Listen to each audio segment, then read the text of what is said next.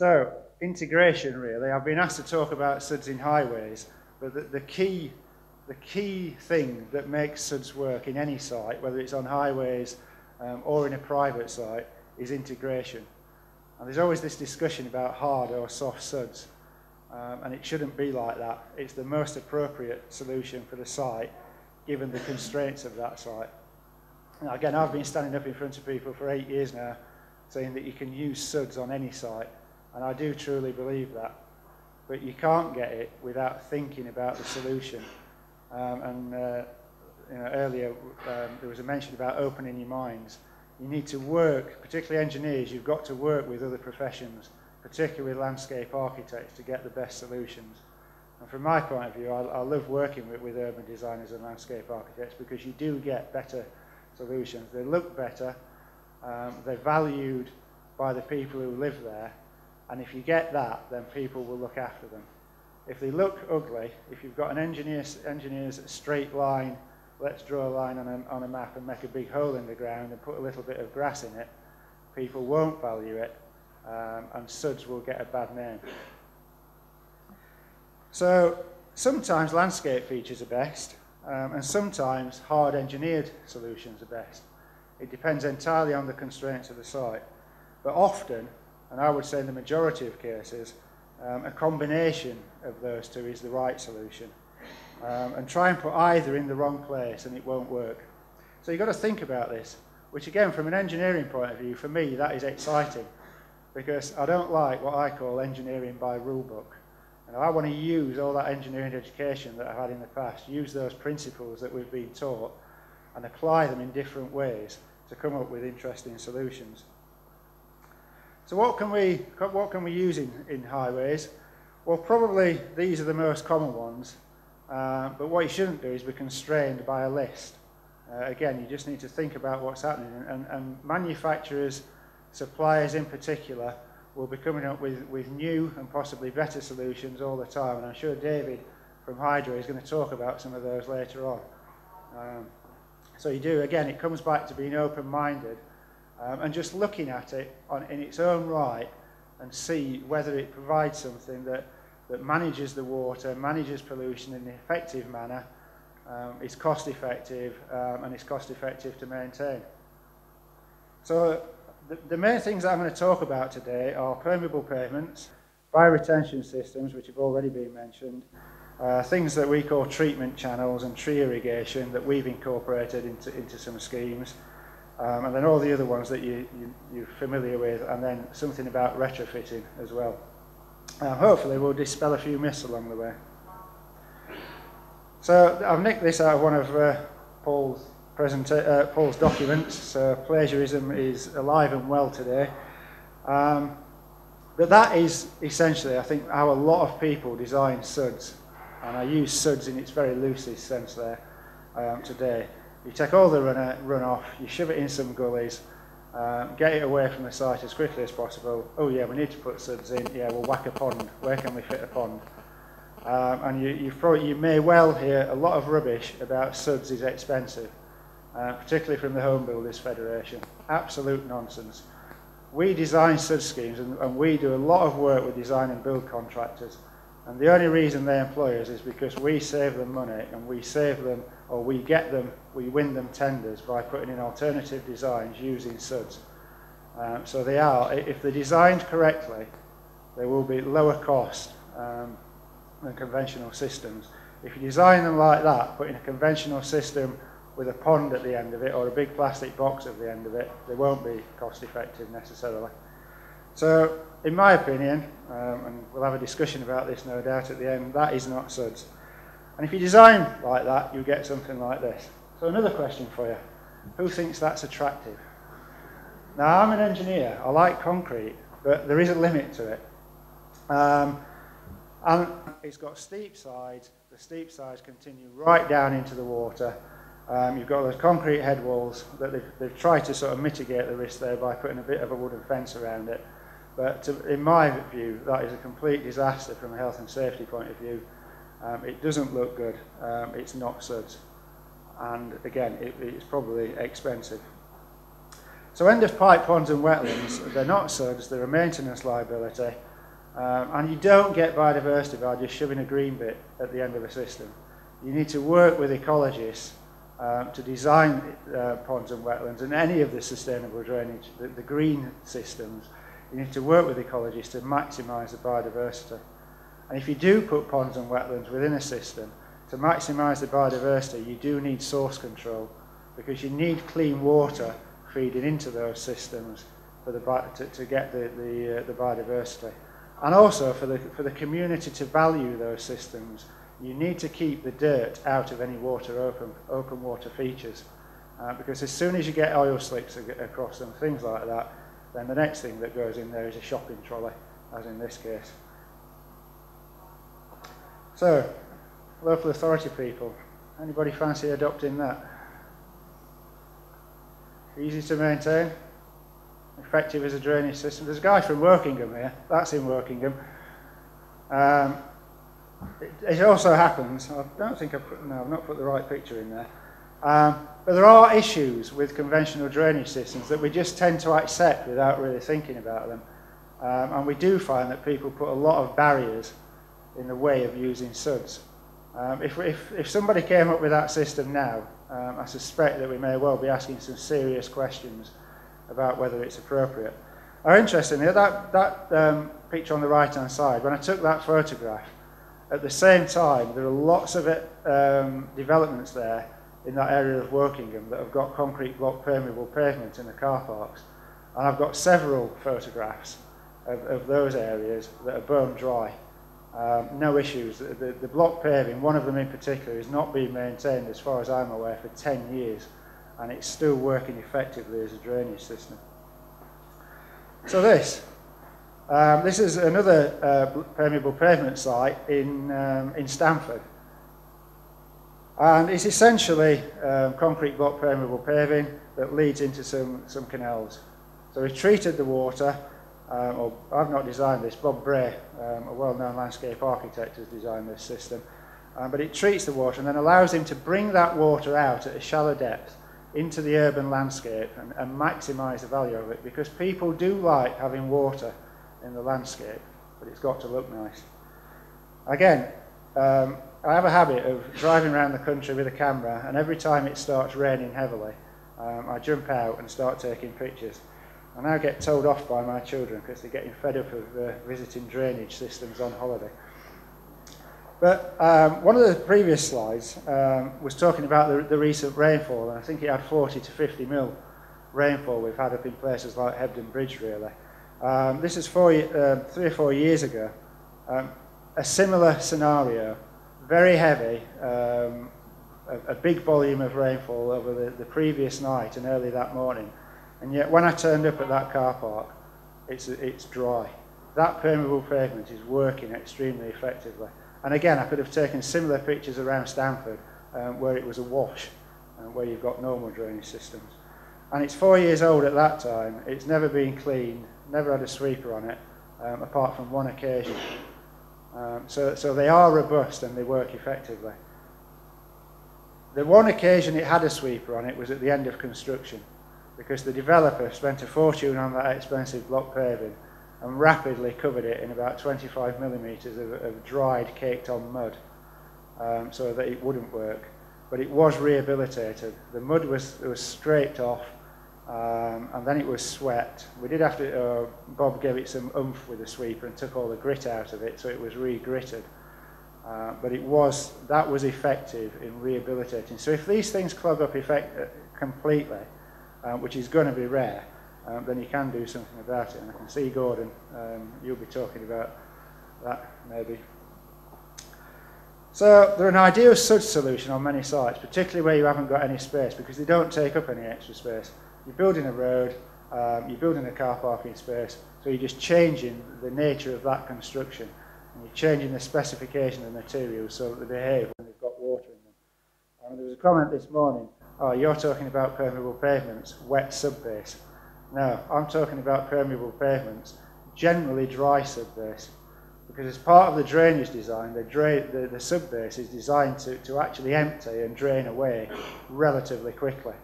And if you took that subbase design to America and put that underneath a road in America in accordance with the, uh, A, not the ASTM, the AASHTO design guide, that would be a very well drained pavement and you would be able to, it would um, increase the structural capacity of the pavement.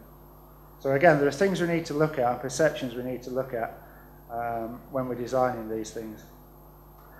Permeable pavements are a source control technique which is an important part of sustainable drainage and they can attenuate large rainfall events. There's usually a lot of capacity in the subbase and the reason for that is because the design of the subbase is usually governed by the traffic loading. So you end up with a much thicker subbase than you need to deal with water. So therefore you can bring roofs into, into it, for example, or adjacent impermeable areas. They um, reduce the volume of runoff because a lot of the water just soaks into the blocks and into the aggregate and never appears at an outfall. Um, and, they can, and they prevent rainfall runoff um, up to 5 mil, up to events up to 5 mil, which is one of the requirements um, of the SUDS manual and also the new national standards. So they are very effective. Um, and they're extremely good at, at pollution removal. That's been demonstrated time and time again by work that's been done at Coventry University, um, up at Edinburgh, and worldwide as well, and they're robust. But they're not appropriate on all parts of the site, um, and they're not the solution to all flooding problems. Um, and they need to be designed and constructed correctly, which is just like any other road construction. Uh, it's not a reason for not using them, but you do have to be careful uh, when you're designing these things, um, and particularly with, with construction. And I'll talk about that in a, in a few slides' time. What we need to do is apply our, our engineering skills. Um, the picture there is a, a, a grass pave system. That's actually in Holland where they know how to build these things a little bit better than we do in this country. Um, again, uh, if, if you just put the grass pave down, shove the cheapest topsoil you can into those voids, generally compact it down and throw a bit of grass seed on, um, it's not going to look good. Uh, you need to put free draining sandy topsoil in there. It needs to be lower than the level of the, uh, of the concrete so that the car wheels don't compact it. And you need to put appropriate grass seed in there that can survive in the conditions that it will be subject to. Interesting one, this. Um, a lot of problems I see in drainage systems um, are because there's a basic concept that some people don't seem to understand. Um, and again, particularly with permeable pavements, it is very important to understand that. So the one on the, the left-hand side is a, is a system that's been installed recently in Reading. Um, I suspect that there will be complaints about that very shortly. You can see how steeply it, it, it, it is on the, the left-hand side, uh, the right-hand side of that in those parking bays, and on the right-hand side. And that hill is actually quite steep as well. So water in that, if they've not put any controls in there, and I don't know what the design is, so, so maybe I'm doing them a disservice, uh, but if there aren't any controls within the subbase, all the water will flow down to the bottom of that system and it will end up looking like the one on the right, which regularly has water ponding on it like that. And it's simply because the water in the subbase flows to the lowest end. And they've overestimated the storage within the subbase. Are they durable? Um, well, this is a, an 11-year-old permeable pavement on a landfill site. So the landfill is, is um, still settling, um, it's still degrading, there's movement, um, and that permeable pavement, when I took that photograph a couple of years ago, was still working effectively. There's bits of moss growing in some of the joints, but by and large, when it rains, the water just trickles away and finds a point where there isn't any moss, which is only a few blocks away, um, and, it, and it works okay. And, more importantly, it's still structurally sound. Uh, other issues, uh, particularly with the, the, the sites um, such as, as Upton, um, one of the issues that, that, that, we have, and particularly Bob Bray has with Upton, is the depth of those swales. Um, they could have actually been more multifunctional, where people, where kids maybe could have played in them if there were shallow water depths in there. Um, and I know that the reason, one of the reasons why, why they are so deep is because you've got normal gullies feeding into those systems, which immediately takes the water deep. If they'd have put permeable pavements in and, and source control, they could have been a lot shallower. Um, and the water wouldn't run down them quite as quickly as it does in big rainfall events. But to do that, you've got to put permeable pavement within five metres of buildings. And sometimes you might want to infiltrate, let, just let the water soak in like a soakaway. Um, and some people aren't comfortable with that. But we have demonstrated on, I would say, hundreds of sites now that it is safe to allow water to soak in near buildings on some sites. Now, you can't do that just willy-nilly. You do have to employ a geotechnical engineer. Um, but it's not because I am a geotechnical engineer. There are, there are sites, um, and Ian Payne from Kent lives in one of the worst areas probably of the country in this respect. There are areas where the ground conditions, you wouldn't even dream of doing that. Um, so you do need geotechnical advice on every site that you do it. But if you think about it um, and look at the issues, look at the ground conditions and the foundation construction, then on many sites you are able to do it. And for example, you know, if, that, if, that, if those houses were sat on piled foundations, uh, soaking a little bit of water in at the surface of the ground is not going to make a, any difference at all to the performance of those foundations. There's lots of guidance on permeable pavements. Um, Interpave, if you go to Interpave's website, there, there's a design guide on there. Uh, there's lots of um, work on, on some of the frequently asked questions. Does water freeze um, in permeable pavements? Those sorts of issues. Um, I've built a permeable pavement. I've put it in my freezer got told off by my wife, and I can say that freezing water in permeable pavements is not a problem. Um, and if anybody wants, wants any information about that, then, then talk to me afterwards. There's a British standard, uh, BS 7533 Part 13 for concrete block permeable paving. And recently, the Highways Agency, uh, well, so recently, it must be two years ago now, um, at least, the Highways Agency undertook a, a, a big trial at Hulland Ward, um, at Charcon's factory at Hulland Ward in Derbyshire, looking at the performance of different types of permeable pavement, so concrete block permeable paving and porous asphalt. Uh, and there's a lot of really good information in that TRL document. So permeable pavements are good, but we do not want a world where the only suds we ever see is permeable pavement. It would be fairly boring, I have to say. Um, there are issues, um, particularly where HGVs, where you've got regular HGVs turning, um, they're not so good uh, because they do tend to, tend to spread. So on the bottom right-hand side, um, that was actually a car park um, to a, a, a five-a-side football centre. But what happened was that the, um, they had very frequent deliveries with a half-ton truck uh, for about two years, and it was the same driver. And he came into the car park and did his three-point turn in this seven and a half ton truck in exactly the same place um, every couple of days. Um, and you can see there that the blocks have started to spread. So if you've got HGVs doing a three-point turn once in a while, it's not an issue. Um, but where you have got it more frequently, then you, ha you have to think whether it's the most appropriate solution. And there are other solutions that are equally as good. So bioretention. Um, you'll see lots of pictures of bioretention systems, but normally uh, they'll either be from Australia or from America. Now we've got our, our own homegrown one. Um, this is in Ashford in Kent. Um, they, they remodeled the, uh, the, the, inner ring road around the centre of, of Ashford town centre, and as part of it, they've, they've installed this, this bioretention area.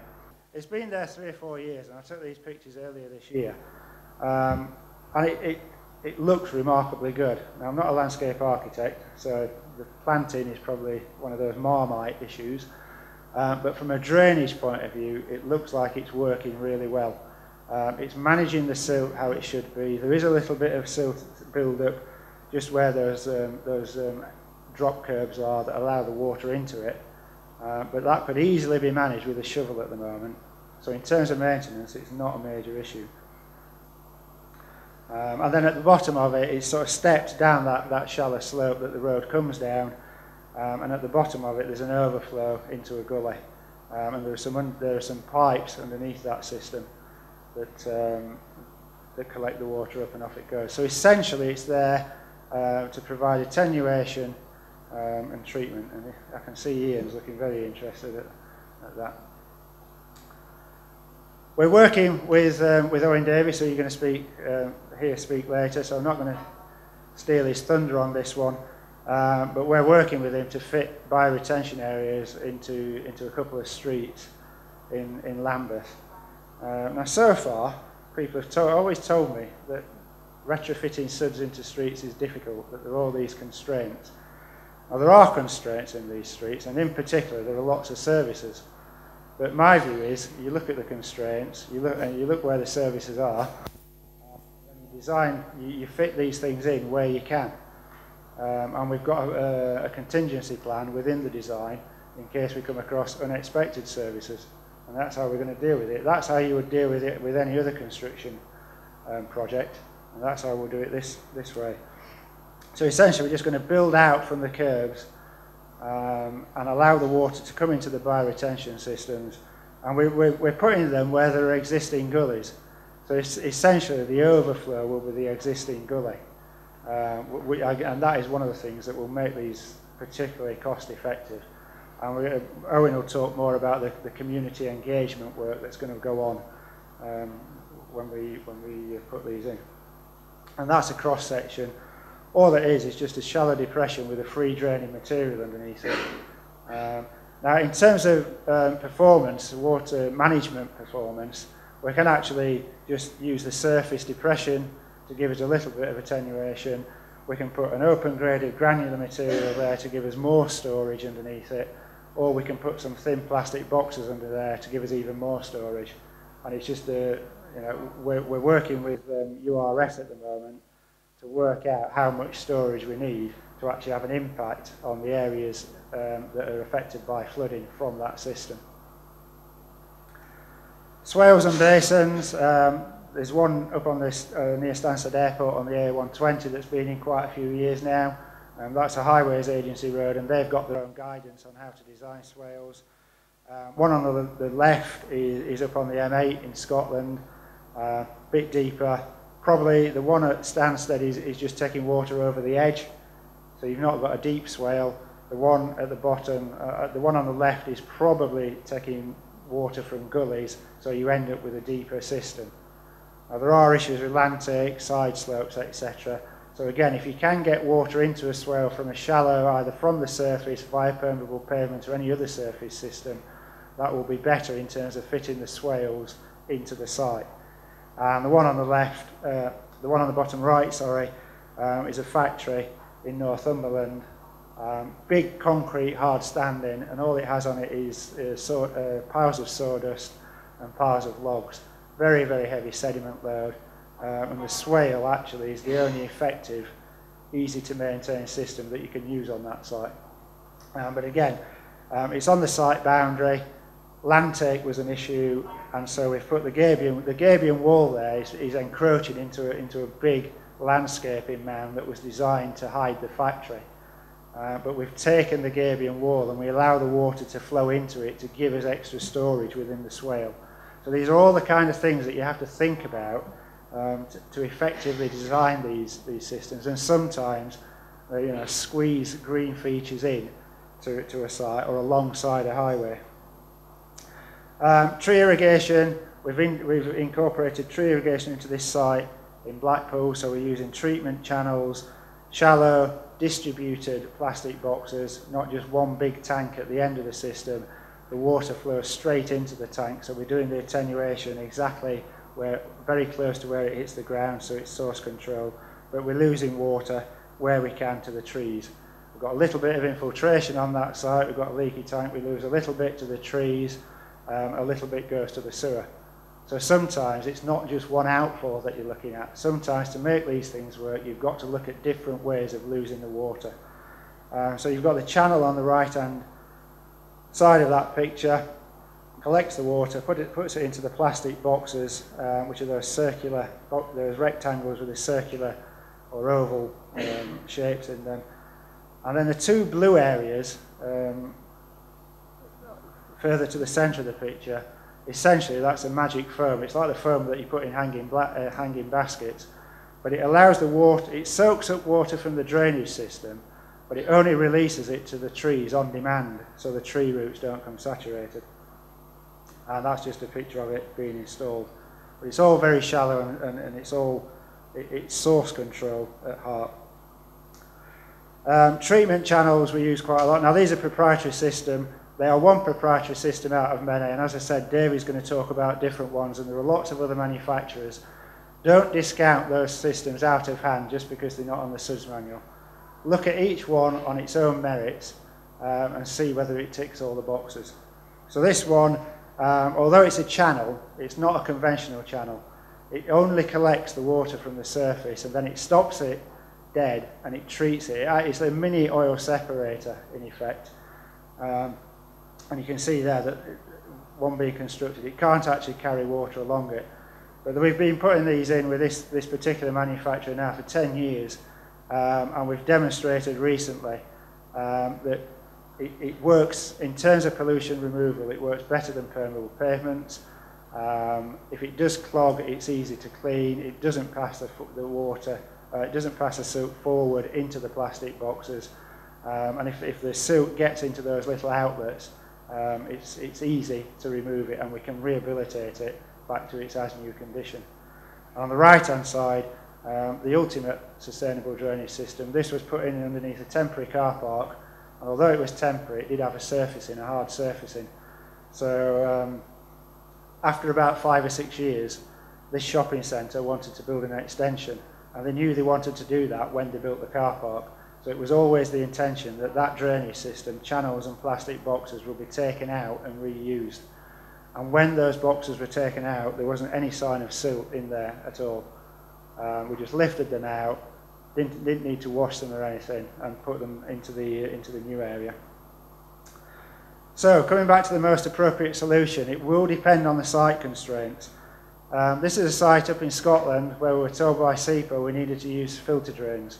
We had to, we had to take the water to the far side of the car park um, and, and drain it off the edge of that car park into a filter drain or a swale. Now, as you can see, we're not going to do that, have all the water flowing towards the front of the car park, because that's where the hotel is. And one of the design constraints on that site is that the people who are going to run that hotel don't want a swale in the front of the building.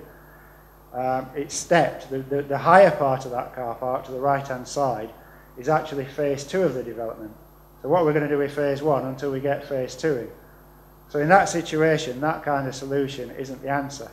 Now maybe permeable pavement is a solution or the treatment channels, but you, you need to be very, very careful um, about looking at, at, at, sort of some of the guidance in the SUDS manual in particular um, and applying it without thinking about it.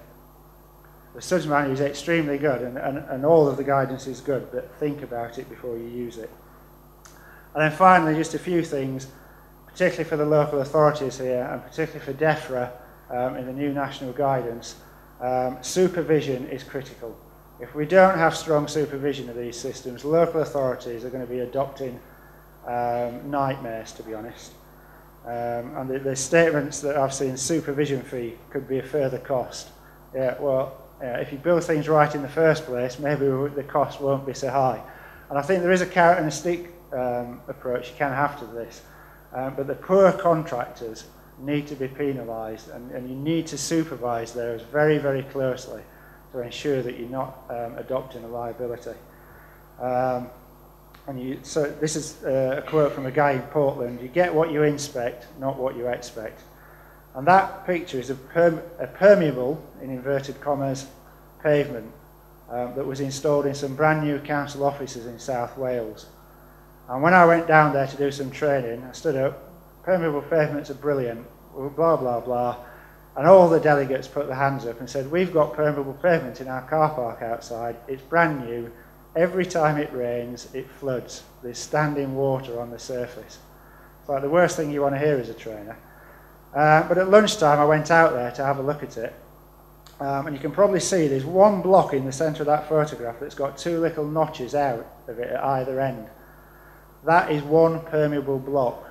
They had surfaced it with normal blocks and put sand in it and put one permeable block in there. It's a Friday afternoon job.